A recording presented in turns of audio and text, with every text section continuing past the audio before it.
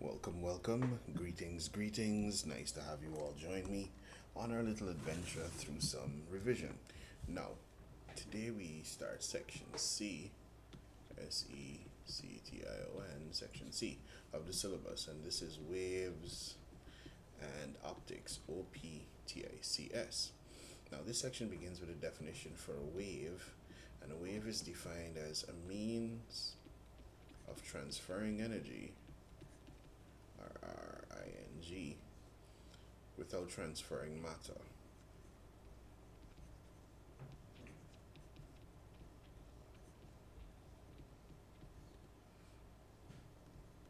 Alright, good. This is the definition for a wave. Now, waves are of two types. Waves are either uh, transverse T R A N S V E R S E, or waves are longitudinal. L O N G I T U D I N A L, longitudinal. Now, a transverse wave is your sine wave, cosine wave. It, it looks like that. That's what I'm saying. It's this up and down motion while still moving forward. But this is your transverse wave. Your longitudinal wave is different. Your longitudinal wave looks like a series of parallel vertical bars, for want of a better term. This is your longitudinal wave.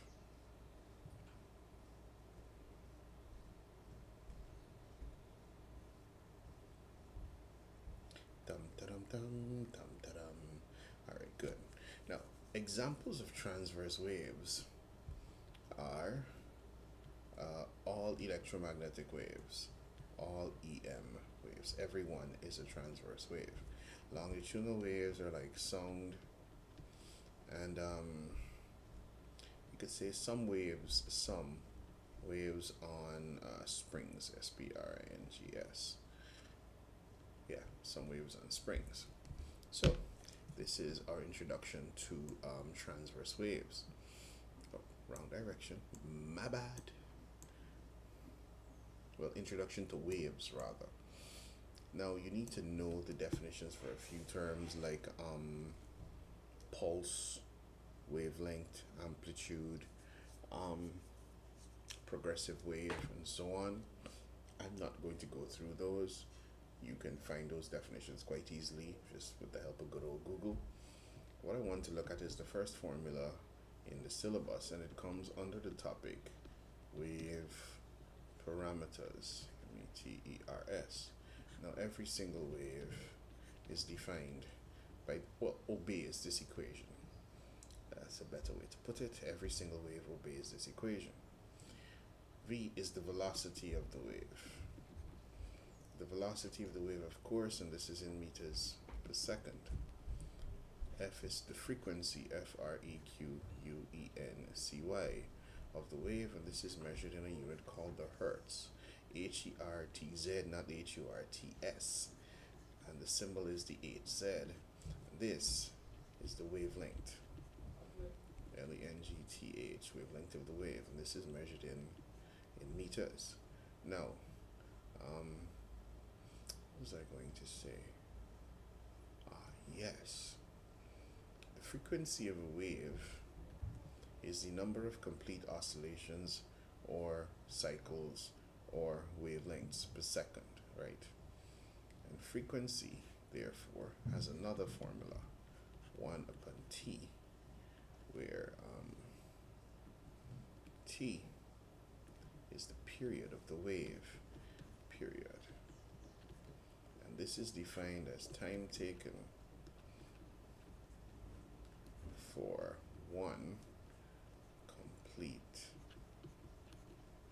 wavelength or oscillation or cycle. Of course, the period is measured in seconds. Have I missed anything? Yes, I missed a little explanation. Now, the explanation is simply for velocity waves don't accelerate per se okay I'm sure when you did straight line motion, you came across problems that said a car starts from rest and accelerates. Waves don't do that. If they're moving, if they normally move at 600 meters per second in air, the instant they start moving, they will move at 600 meters per second in air. Do remember this. Now, moving swiftly along, waves, wave parameters, transverse longitudinal. We come to um, sound, I believe. Sound. S O U N D. Sound. Now, sound is a longitudinal wave.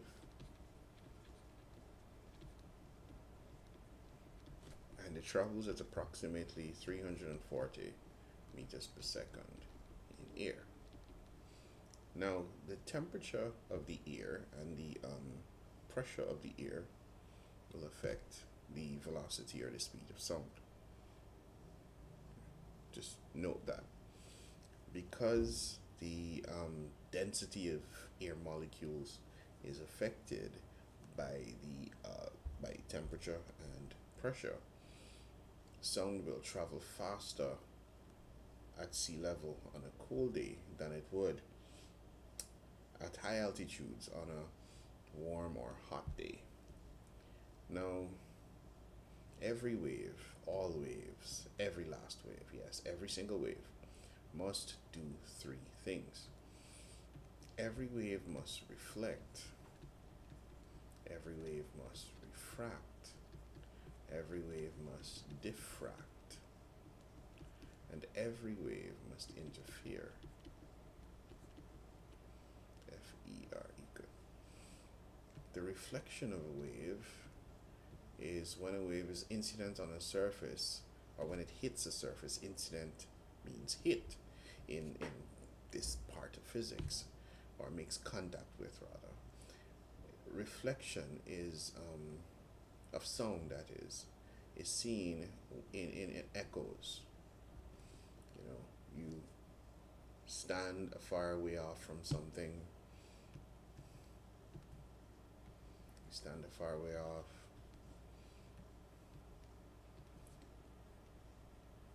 You clap.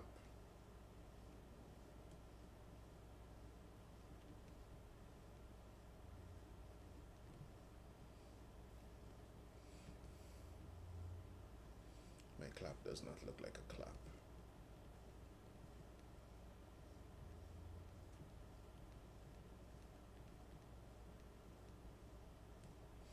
the sound travels towards or in the direction of the object and then it bounces off and comes back to you. And you hear it. You clap once you hear that clap. And then a couple seconds later you hear the echo of your clap this is proof that sound reflects now refraction is the bending of a wave as it travels from one medium to another.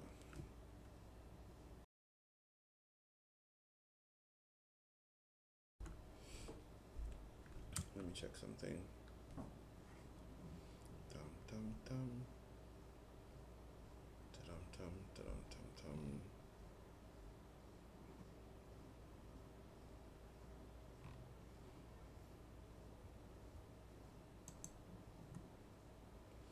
Alright, good. Just have to make sure. Yep. Sound refracts, but it's hard to see.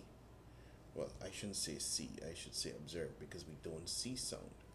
Now, sound tends to refract due to the difference in the temperature of a few layers of, of layers of air. If one layer of air is at a different temperature from another, it forms a boundary at which sound will refract. The sound will bend then at this boundary due to the difference in the temperature of the air. Diffraction of sound. Diffraction of sound is just a well, diffraction rather is the spreading of a wave as it passes through an opening or a gap. Okay, if you put your hands together and you kind of make like a cylinder and you shout into your hands, your hands form this narrow passageway, but sound is going to shoot out this side. And what happens is, the further sound travels from your cupped hands, the more sound will spread.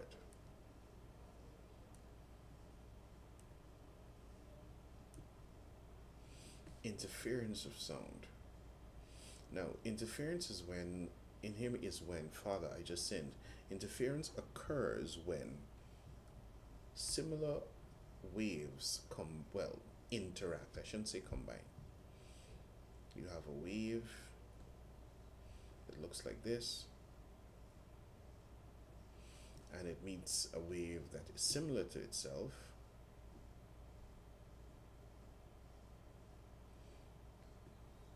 That's really poorly done. It meets a wave that is, yeah, similar to itself. Forgive me, of course, my diagrams are not going to be perfect. And when these two waves combine, you end up with a, a much larger wave. Well, not only can you end up with a much larger wave, you can end up with no wave, a much smaller wave. Smaller in terms of amplitude. Now, in case you did not know what amplitude is, amplitude is this how far the quote unquote particles in a wave uh, move from their rest or equilibrium position.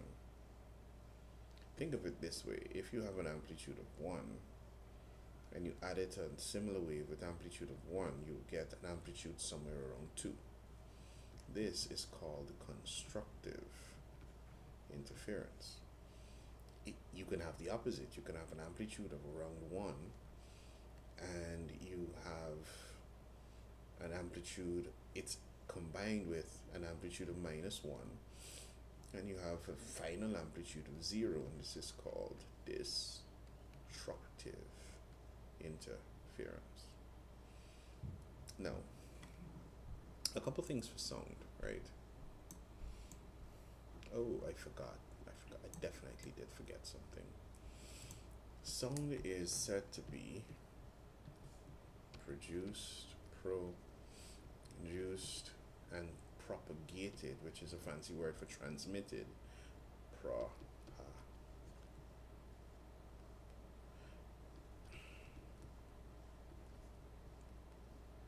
I don't know if this is an A or a G.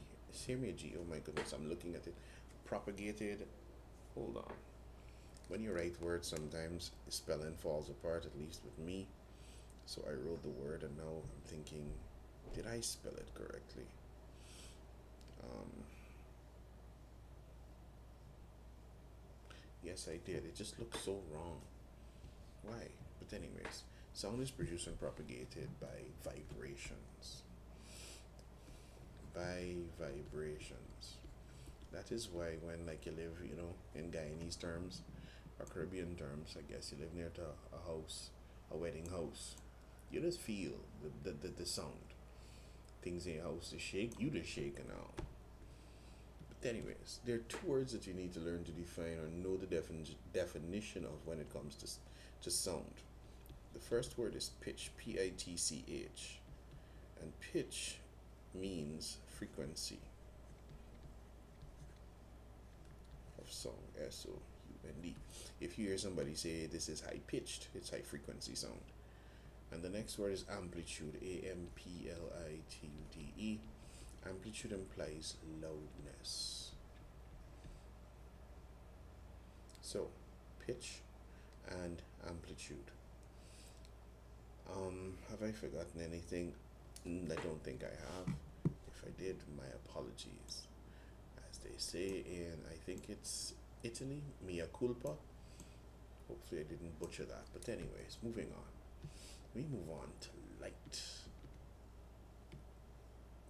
But before we move on to light, let us take a, a break and stop at the EM spectrum. So, first question you might have for me is what the heck does EM mean? EM stands for electro, and the M stands for, I was going to write a common M, magnetic. Electromagnetic waves have two components an electric component and a magnetic component and they vibrate in planes that are perpendicular to each other right? This is your x-axis and your y-axis. Let's say we threw in a third axis just for fun that went this way. Right. so you have your up and down your electromagnetic component sorry your electric component that goes up and down. Then you have your magnetic component that goes side to side. Hopefully my diagram helps you understand this and this is what is meant by electromagnetic. A wave that has an electric electric component or an ele- did I say electric? Yes electric or electric I don't want to say electrical and a magnetic component and they are perpendicular to each other. Now the spectrum electromagnetic spectrum is simply a collection and arrangement of all um, known transverse waves in order of increasing wavelength. And we have yes increasing wavelength. We have x and gamma rays at this end. And we have radio waves at this end. Somewhere smack dab. Well this is not drawn to scale mind you right? I am not drawing this to scale at all. Somewhere here we have visible light V-I-S-I-B-L-E visible light L-I-G-H-T here we have infrared infrared and here we have UV light. If memory serves microwaves M-I-C-R-O-W-A-V-E-S are somewhere here. Now the visible spectrum of light has sorry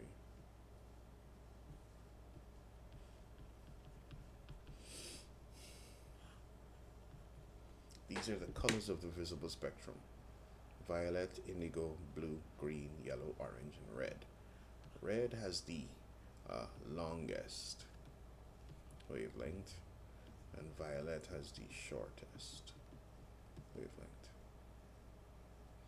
And this is the electromagnetic spectrum. Now as always please feel free to um, comment.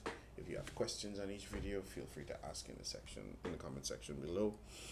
Um, I will stop here because I want to um, I don't have enough time in this video to finish visible light. I will look at that in my next video. Anyways as always um, like share subscribe and I hope you uh, tell your friends about me. Do enjoy. Be alright. Be safe. And I will see you in the next one. Bye bye